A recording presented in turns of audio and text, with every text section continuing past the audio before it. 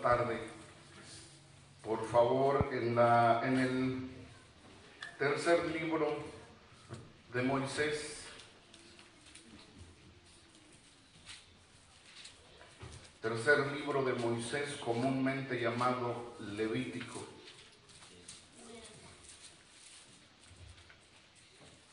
Capítulo número 6.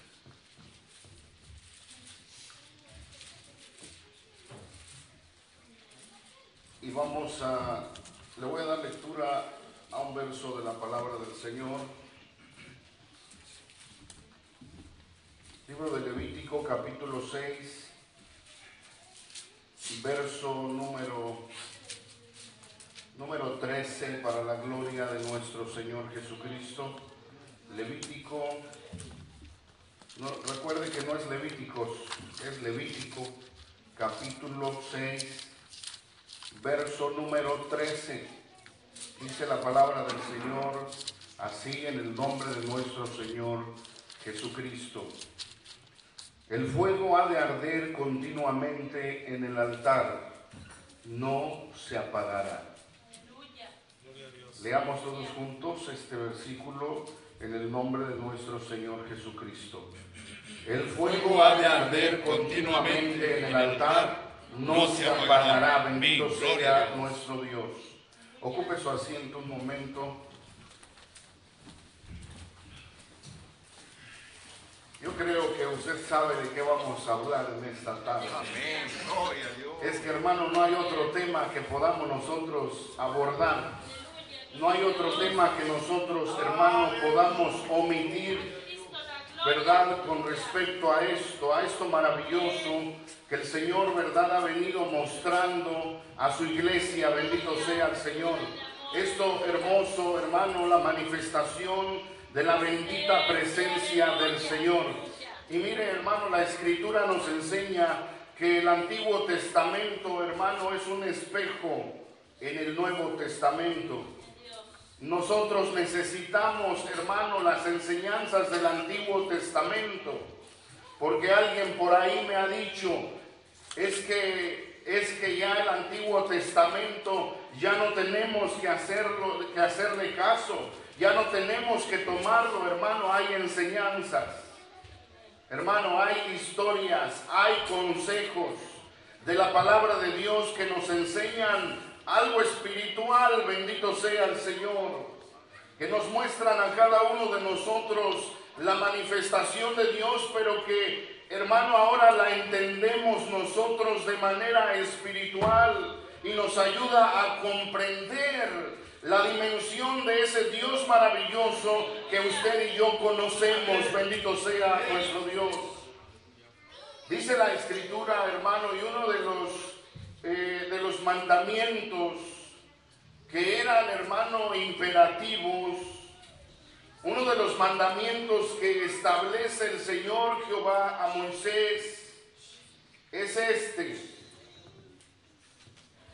Que hermano, continuamente el altar tenía que estar ardiendo con fuego. Dice la escritura, hermano, que este, este altar era el altar del holocausto. Era el altar, hermano, en donde el presente llegaba, era puesto y era consumido por el fuego.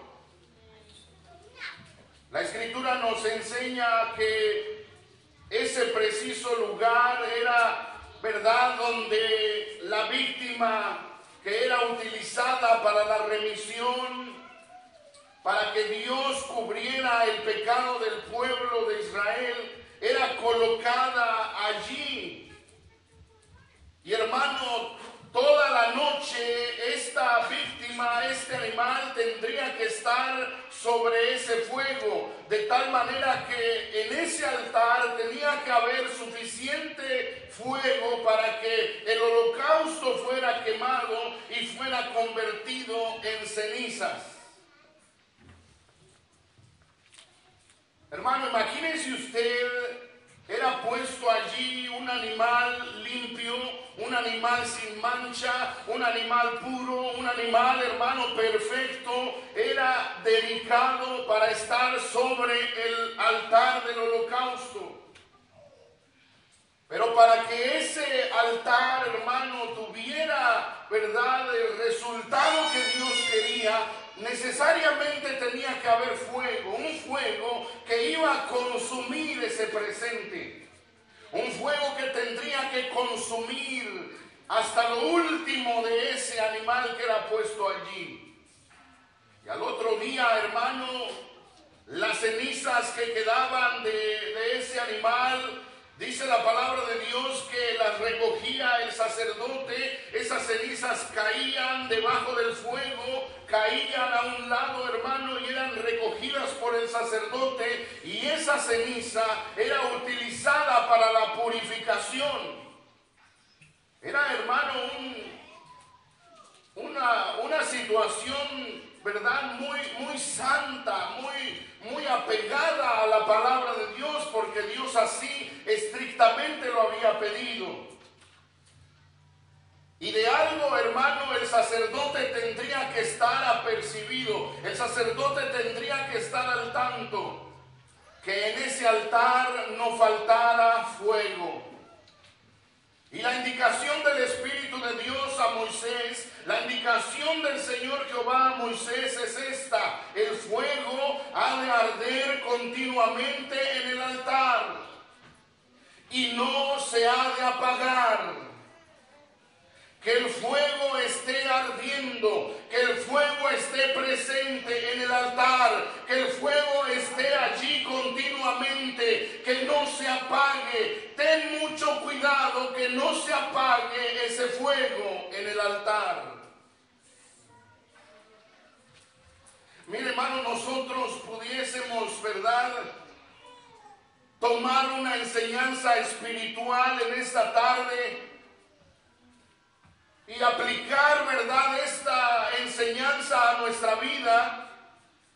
Y que es una enseñanza maravillosa que nos ayuda, que nos sirve, que nos va, hermano, apegando más a la presencia de Dios, porque eso es lo que buscamos, eso es lo que queremos.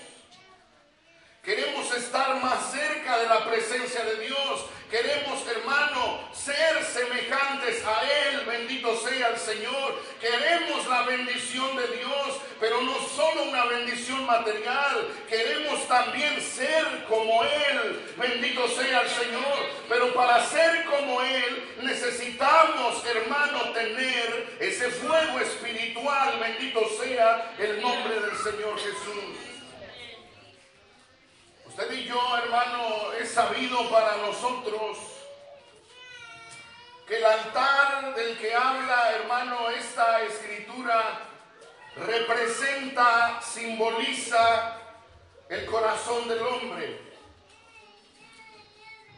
Tal como el altar donde ardía ese fuego, tal como ese altar del holocausto, es verdad nuestro corazón. De la misma manera es nuestro corazón. Nuestro corazón, hermano, es donde arde el fuego de las pasiones, el fuego de los sentimientos. Usted y yo sabemos, hermano, que que hay un fuego, que el hombre desarrolla, que hay una pasión, que hay sentimientos, hermano, que se llegan a desarrollar tan fuertes que se consideran como un fuego, una pasión.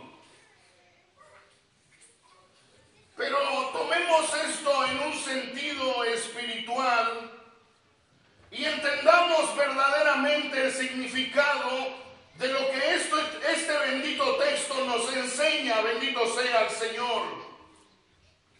El hombre, la mujer se debe de preocupar. El hombre, la mujer debe tener el vivo deseo de que en su corazón arda el fuego de Dios, bendito sea el Señor. No un fuego pasional ni sentimental, ni humano. La palabra de Dios nos enseña, hermano, que en el altar del hombre, en el corazón del hombre debe de arder un fuego, pero ese fuego es un fuego especial, un fuego de pasión por el Señor, un fuego de deseo por Dios, bendito sea el Señor. Por eso el salmista David decía en el Salmo 42, así como el siervo brama por las cosas, así clama por ti, oh Dios, el alma mía, bendito sea el Señor. Hay un fuego, hay un vivo deseo de buscar a Dios, hay, un, hay una viva pasión de servir al Señor, hay un vivo deseo de hacer la voluntad de nuestro Padre Celestial. El hombre entonces debe de preocuparse de que esa pasión por Dios, de que ese amor que le tenemos a nuestro Dios esté encendido siempre. Bendito sea el Señor. Sea un deseo constante, sea un deseo vivo, sea un deseo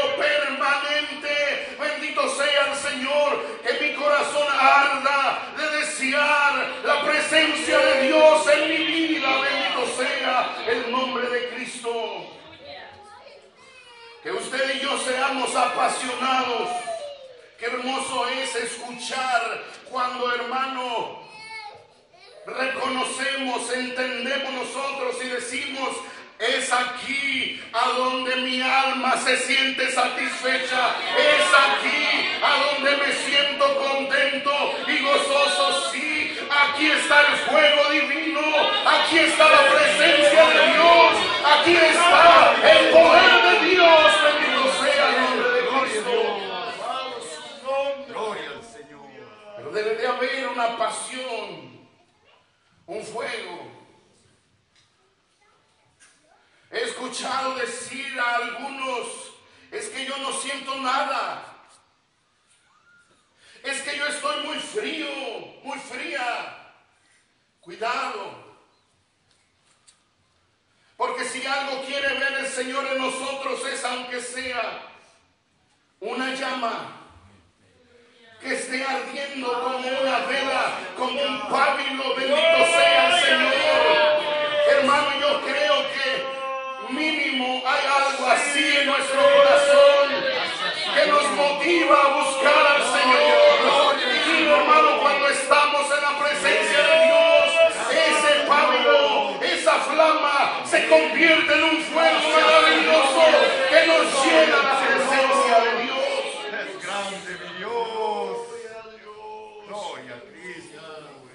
Hermano,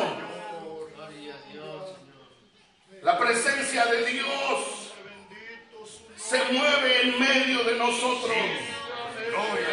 La presencia de Dios, usted y yo la podemos sentir. Pero esa presencia desea. El Señor nos pide en esta tarde que ese fuego esté ardiendo. No lo apagues. Que no se apague, ten cuidado de que se apague. Ten cuidado de que se extinga esa flama. Ten cuidado de que no sientas nada. Ten mucho cuidado. Porque si algo quiere el Señor, hermano, es que en ese altar que es nuestro corazón, es que en ese altar, hermano, que está dedicado para Dios, exista el fuego del Espíritu Santo, bendito sea el nombre del Señor. ¿Y sabe qué sucede cuando hay fuego, hermano, espiritual en nuestra vida? ¿Sabe qué sucede cuando, hermano, el fuego de Dios nos llena? Amén. Gloria a Dios. ¿Sabe? En medio de ese fuego está la presencia de Dios. Aleluya. Gloria a Dios. Así como en esa zarza que estaba ardiendo, ardiendo, ardiendo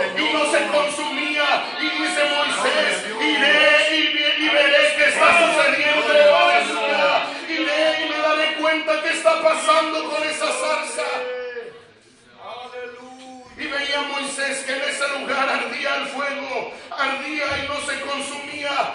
Y hermano, sorpresa para Moisés. Bendición para este hombre de Dios. Nada más ni nada menos que en medio de ese fuego estaba la presencia de Dios. En medio del fuego espiritual está la presencia de Dios.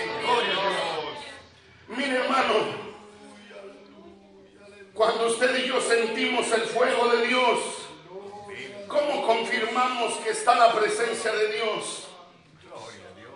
Cuando sentimos que, hermano, hay algo que nos empieza a llenar, hay algo que nos empieza, hermano, a, no sé, a llenar, a, saturar nuestro corazón y empezamos a sentir, hermano, algo, algo diferente. ¿Cómo es que nosotros confirmamos que es la presencia de Dios? ¿Sabe por qué? Porque nuestros labios se abren y dicen, gloria a Cristo, gloria a Cristo, gloria a Cristo, para la gloria, aleluya. Ahí está el Señor, ahí está el fuego de Dios, aleluya. Ahí está la presencia de Dios. Cuando hay fuego en nuestro corazón, hermano. Cuando, hay, cuando ese fuego está constantemente ardiendo en nuestro corazón, sucederá lo que sucedió con aquellos tres hebreos que fueron echados, lanzados al horno de fuego. Pero mientras afuera, hermano, aquel rey, aquel hombre, hermano, pidió que se aumentara el fuego siete veces, porque esos tres hebreos no querían doblegarse ante la estatua que él había edificado. Porque esos tres hebreos estaban convencidos de servir al único Dios vivo. Aleluya. Habrá alguien aquí convencido que servimos a un Dios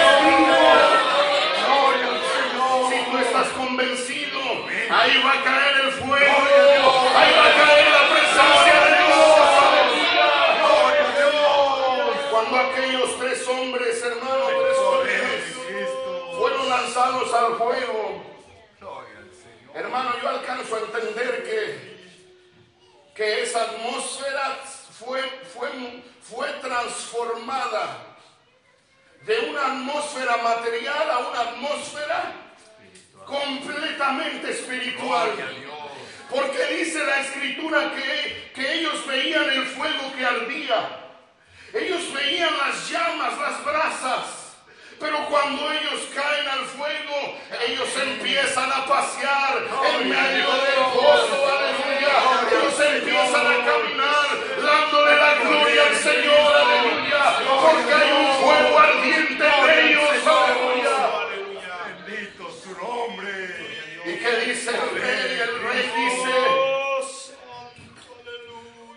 ¿cuántos fueron los que echaron en el foso? Y le dice, los guardias fueron tres. Y el rey dice, mire, yo veo cuatro. Es que cuando hay fuego en tu corazón, uno mayor que el templo estará en medio de nosotros.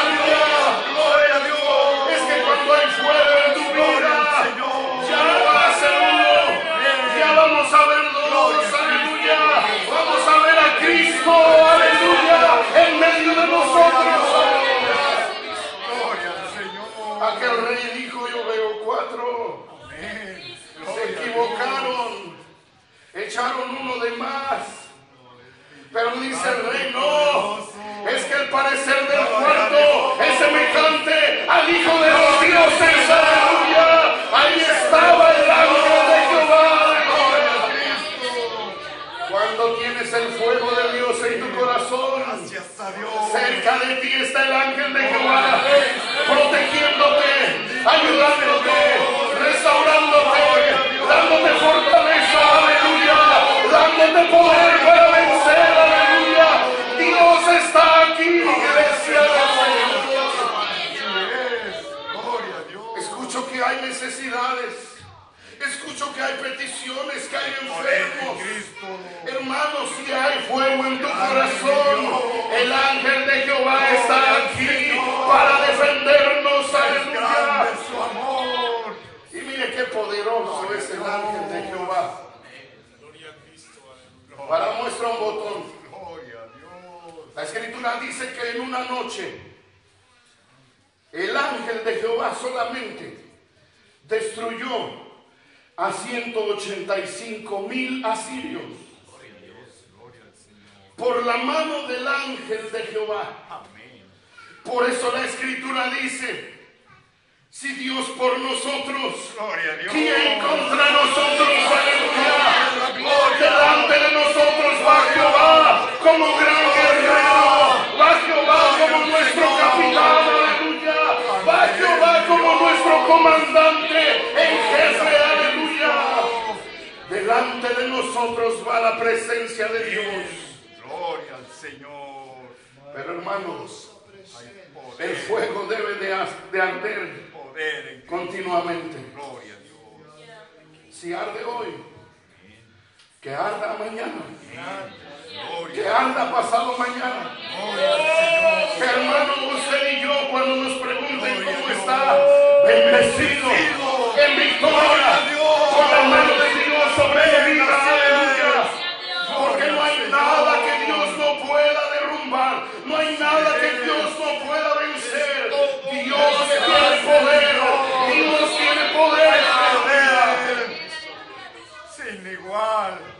Gloria a Dios. Pero déjeme decirle que en medio de ese fuego continuo puede haber una víbora. Cristo lo reprenda. Gloria en medio de ese fuego, la escritura nos enseña que puede salir una víbora. Dice la palabra de Dios que el apóstol Pablo iba, hermano, iba en su barco junto con muchos prisioneros hasta el momento en que ese barco naufragó. Hermano se dio a pique y, y aquellos hermanos empezaron a, a saltar para salir a la isla que estaba cerca, la más cercana. Y dice que la mayoría pues llegaron nadando. Y los, y los bárbaros que vivían en esa isla fueron muy compasivos. Porque antes de que ellos llegaran a la orilla y salieran de la mar, los bárbaros ya les habían puesto por ahí un fuego para que se calentaran. Y dice el apóstol Pablo, nos recibieron con mucho amor, porque sabían que veníamos mojados, porque sabían que venían niños, sabían que venían mujeres y hombres, sabían que venían, hermano, con frío. Y dice, y nos recibieron con una gran fogata para que nos calmásemos del fuego, del frío. Pero la escritura dice que mientras todos estaban alrededor del fuego, el apóstol Pablo fue y recogió unos sarmientos, recogió unas varas secas y se acercó a la fogata porque probablemente se dio cuenta que el fuego se estaba, hermano, acabando. Probablemente el fuego se estaba sofocando por todos los que estaban alrededor.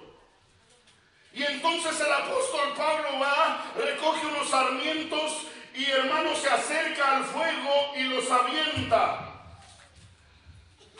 Él quiere que ese fuego arda.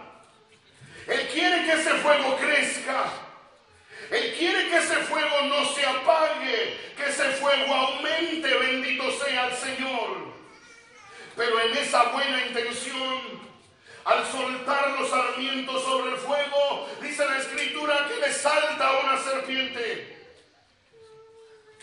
y le muerde el brazo. Cuando la gente se da cuenta, dice, este hombre es un delincuente la justicia lo persigue, por eso está muriendo así. No se escapa de la justicia. Pero mire qué hace el apóstol Pablo, dice la escritura, hermano, que cuando la serpiente, hermano, agarra y lo muerde en su, en su mano, en su brazo, ¿sabe qué hace el apóstol? Dice la palabra de Dios que Inmediatamente vuelve a poner a la serpiente en el fuego.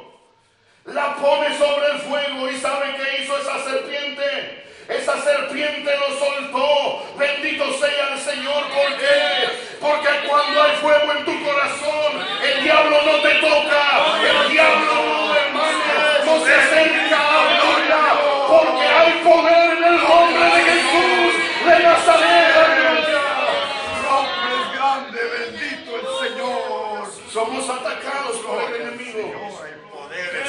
atacados, hermano, por la influencia maligna. Cristo. Pero hermano, acérquese al fuego. Está siendo atribulado, está siendo, hermano, sometido a una prueba. ¿Por qué no se acerca al fuego? Y, y dice la escritura textualmente, dice el apóstol, y acerqué mi mano y me sacudí la víbora. Amén. Gloria a Dios. Hay que sacudirse la víbora. Hermano, usted y yo, si tenemos el fuego de Dios en nuestro corazón, no hay víbora que nos pueda dañar. Dice la escritura, dice la escritura, que los bárbaros vieron esta escena y esperaban el momento en que Pablo cayera hinchado, en que Pablo cayera muerto, porque pensaban que era un juicio. Pero no. Grande fue el poder de Dios. Aquellos de esa isla conocieron el poder de Dios. Aquellos de aquella región conocieron, así como usted y yo conocemos, a un Dios poderoso. Aleluya. A un Dios maravilloso. No quiere acercarse al fuego. No quiere que su corazón arda. Mire, la escritura dice que dos discípulos de Maús iban caminando con Jesús.